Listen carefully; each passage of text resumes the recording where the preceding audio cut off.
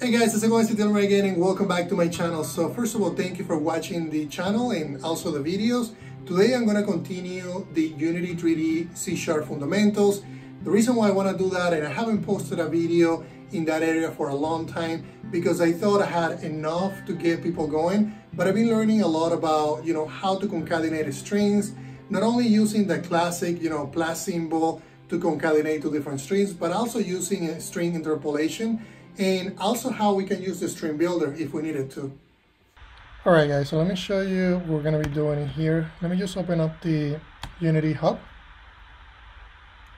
And what I wanna do is open up the Unity Editor Fundamentals. I also want to make sure that I didn't make I didn't make any changes to that project before the after the previous video. So let me just go ahead and go to let's see personal games then Unity, editor fundamentals, and I think I checked in everything, but let me just make sure. Yep, looks like I did. So the reason why I'm checking for this is because I, I've been providing these as a series of, of videos, and I also have it in source control, which means that you can download the project and the previous basically files from my GitHub page. So you can go to github.com, DilmerV, and I'm gonna put this in the, the link of this in the description of this video. So actually the one that I'm doing right now is Unity C Sharp Fundamentals.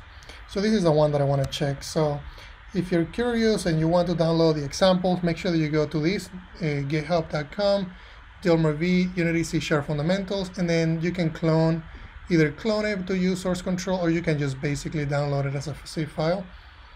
All right, so now that I have these, let me make sure that I have that. So it looks like I do. So it's Unity, C Sharp fundamentals. And let me make sure again that I haven't made any changes. And no, no changes. Okay, so we're good to go. So what I'm gonna do, let's go back into Unity and open up the, the correct project. So we're gonna go down to my, I probably didn't open it for a while, so that's why, okay, let's go ahead and click on open to open it up go to games and I'm gonna go so this will be the location where you download this project to. So we're gonna go ahead and I have a lot of different projects there we go and open up the Unity C Sharp fundamentals so you can also start here when you you know when you start doing the examples that I'm gonna that I'm gonna about to show you. And we can do we can just do the the current build target. And the version that I've been using for this project is 2018 3.10 I think I actually upgraded it, but let's see. If it asks us to upgrade it, we'll upgrade it. Yep, looks like the version that I used for that project was 3.5 F1. So I'm gonna upgrade it and I'll check it in so that you guys, you guys have the latest version. And we'll just give it a minute here to, to do what it needs to do. So just to give you an overview, I'm going to go through, so the main of this, of this video is to do what, what's called a string interpolation I'm also going to be going through basically concatenating strings, which is, you know, the, the old way, the classic way, which is by using the plus symbol. And then lastly, we're going to look at how we can use the string builder. All right, so it looks like I have everything open and yep, these are all my different. So let me go ahead and check it in. Let me, so I'm going to save this project and let me check in the changes. So So we're going to be adding, it looks like what changed was the project version. So upgraded project to run on Unity. Remove this extra space. 2018 3.10 F1. So if you have that version or greater than that, then you should be able to open this project. And I got checked in. Excellent. So this one is going to be a new video. So what I'll do is I'll keep I'll keep doing the structure that we that we did previously. So I'm just going to uncheck that and create a new game object. And this one is going to be 12. It's going to enable it. And looks like I mistakenly named it incorrectly last time. So let me just fix that. And also fix this. Excellent. So now now what I'll do, I'll do the same thing that I've been doing on the previous videos. We'll go into, let's see, go into scripts and let's go ahead and create a new script. So this one is going to be, so I'm going to right click on the empty area here. It's going to be video 12. Excellent. So we should have basically a raw structure of our class. Now going to the video 12 game object and I'm going to remove the one, the video 11 because I cloned that one from the previous one. This one is going to be video 12. So now we should be able to start with the session. All right, so the next thing that I want you to do is I'm using Visual Studio Code. You're more than welcome to use that or you can use something else if you prefer. And I'm going to go into Assets and then open the C Sharp project. All right, so we should be good here. Let me just close a couple of files that we don't need. And let's just focus on, on video 12. So in, in C Sharp, there are a lot of different ways that you can concatenate strings. And the one that I want to cover three of them. So what I'm gonna do is we're gonna be using the start method for this session. And I'm gonna put here in the comments what, are, what we're gonna be doing today. So to do. So the first one is we're gonna use basically concatenating or, or joining strings together by using the plus symbol, which is basically the, the most common way. And just to clarify, this is not, there's nothing wrong with doing that. You can still do it. Do it. What I want to show you and what I want to get out of this video is show you different ways and and show you reasons why you will use the other ways that I'm gonna that I'm basically gonna be showing you. So you can still use plus. I use plus, you know, when, when it applies, when I think I need to use it. So it's your basically your task as a programmer to decide what works best for the project, what works best for you. And what we're going to be doing is a string interpolation. We're also going to be using and looking, so using and looking into adding the string builder. build, if I can type, builder, there we go. Excellent, so three different things in here to do. So the first one and the most common one, it's gonna be, you know, you're, you're basically using the plus symbol. So what I'm gonna do here, let's go ahead and add two variables. So I'm gonna say first name, and it's gonna be of type string. We're gonna say the first name of this person is John, and we're gonna just basically duplicate that variable, and this one is gonna be last name and of course it's going to be Doe and and a lot of times when it comes to coding you want to say okay you're basically your product owner might say okay I need to display the full name I, but you have you have these separated into two different columns because they might be in the database that way so when it comes to that you might need to create a new class of course and and basically concatenate these two and, and get and send the information back. So it's gonna it's gonna look something like this. You might say full name, and then you might say, okay, yeah, I can just do first name, and you can add spaces, and then you can say then last name. And these ones, yeah, let me just go ahead and do double quotes. Excellent for strings. So and this will work. This works. This works great. So if I say debug.log and then we can say, okay, this one is going to be the full name. And you can say full name. And if we go ahead and, oops, and I need to, I need to do that and add a space there. Okay, so let's go ahead and go back into Unity and, and let's focus on the console so that we can see what's happening. So you can see the full name is set to John Doe. And, and that works great. You can you can do that. That's there's nothing wrong with that. You might you might say, well, you know what, I also need the age, so I might need, I, I might need the age of this person, and this person might be 25.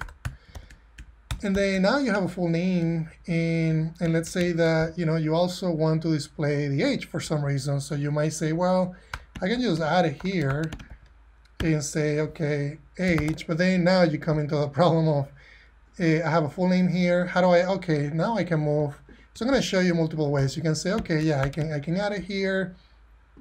Then I can say, okay, the age, and and then I can add a plus symbol at the age, and and then you know this this works great. There's nothing wrong with that, and in fact, it's it's gonna work. So if we go back into Unity and we hit play, you'll see. Let's go ahead and hit play one more time, and you can see full name, and then the age is 25. Then you might say, well, I want to format it. Okay, I'll just put, you know, I'll just put a, I'll just put a pipe in there just to separate them, and and you go back and hit play. And yeah, you get, you know, you get your pipe. So your data is getting, you know, it's getting structure. And but it's really hard to to manage something like this when it comes to because you might have address, you might have other things now you need to worry about this getting translated. So there's a lot of different things that can can actually make this code really hard to write. And you know, programming changes all the time, so there's nothing wrong with that. And I'm gonna keep saying that because if you keep doing this, it's okay. It just depends on the requirements. But another way that you could have done that is, so what I'm gonna do is this is gonna be one, exercise one. And let's in fact put a one in here for this is gonna be the first way, right? And then what we're gonna do is we're gonna do, we're actually gonna reuse those. So what I'm gonna do is I'm gonna start looking into a string interpolation. So what is a string interpolation and, and how we can actually use it. I'm also gonna go back to, to this way and improve it a little bit in, without using a string interpolation. We're gonna do, we're gonna do that last. So we're gonna do going back, just say going back to one and improving it with a string.format. So I'll show you that last.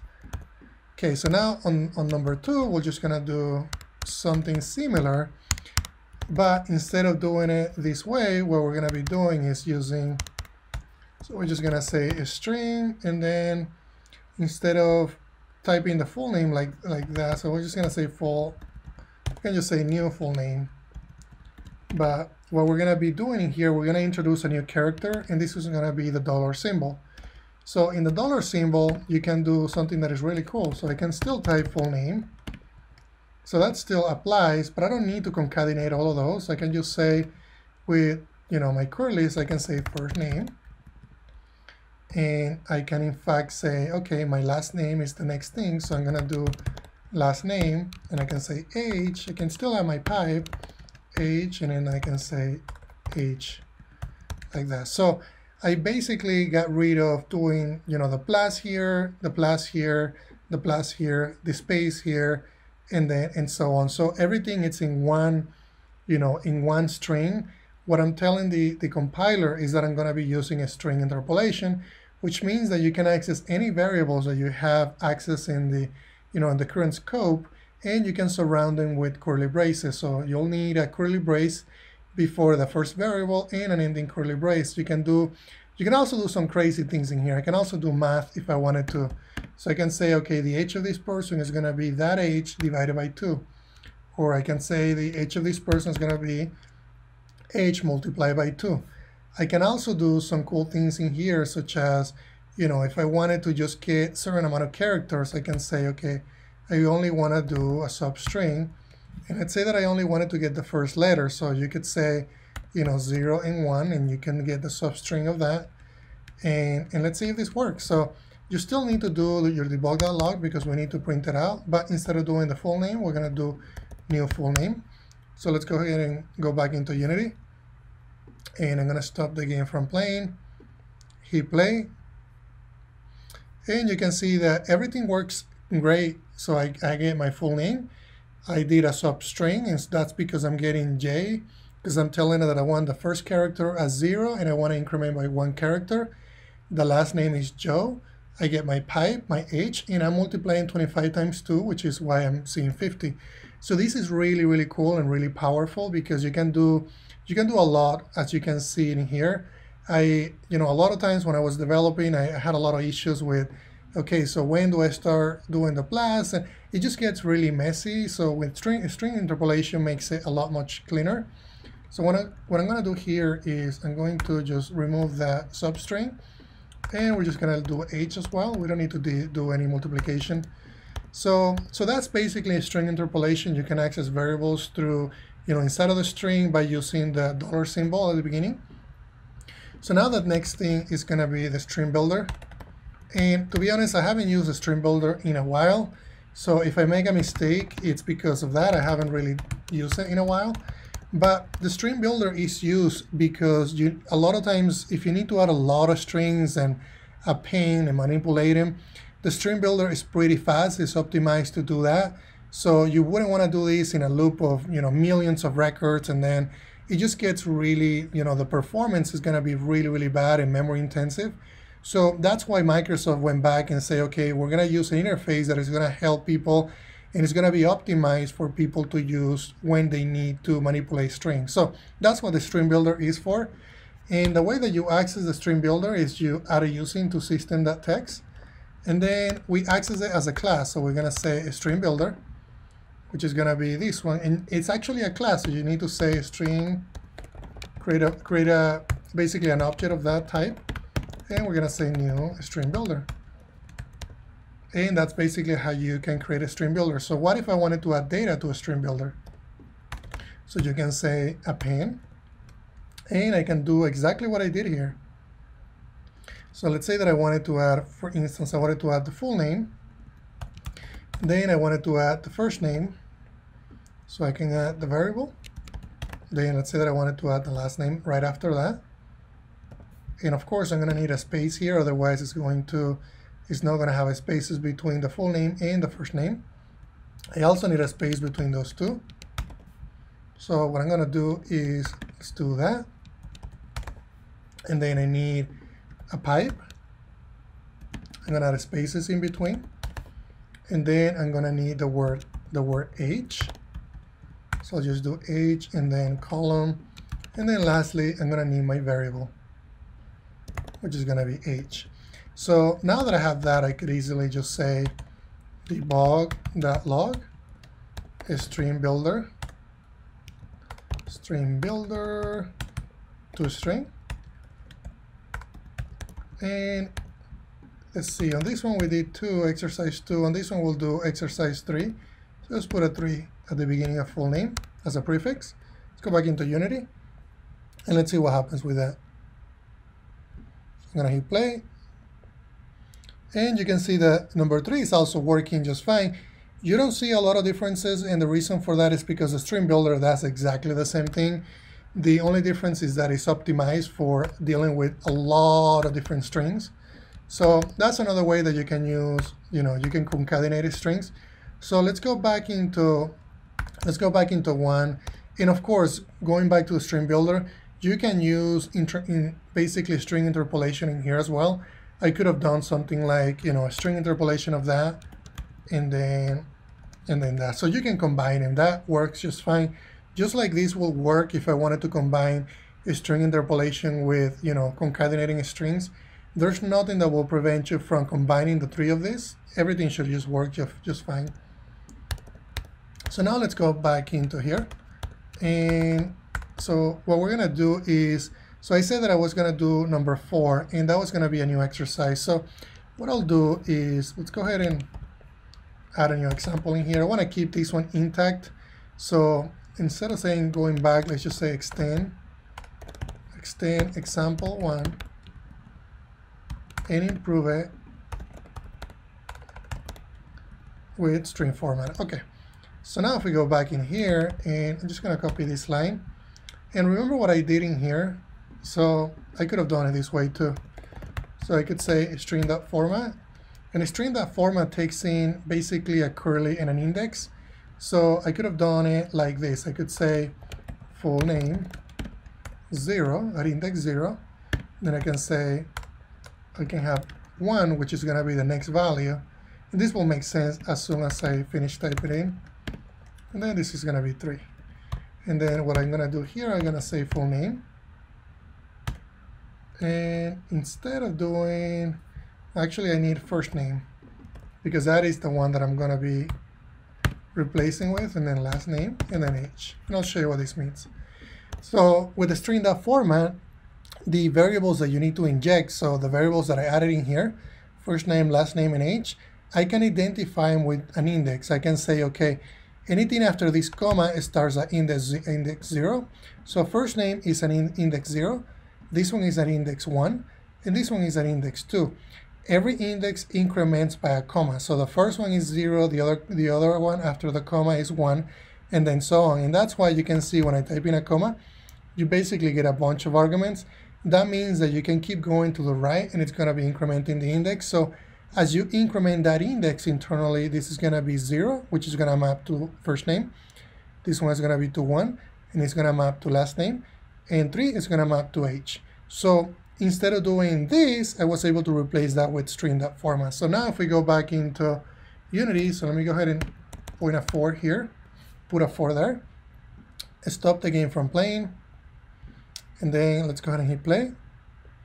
And I got an exception. So this is an exception that you normally get when you're starting. It looks like I, I got an exception because I type in the wrong index. So this is actually cool that it happened because it shows you that I didn't have a 4. I didn't have, so 0, 1, 2, I didn't have a 3. So that means that I'm out of bounds in that basically of the index.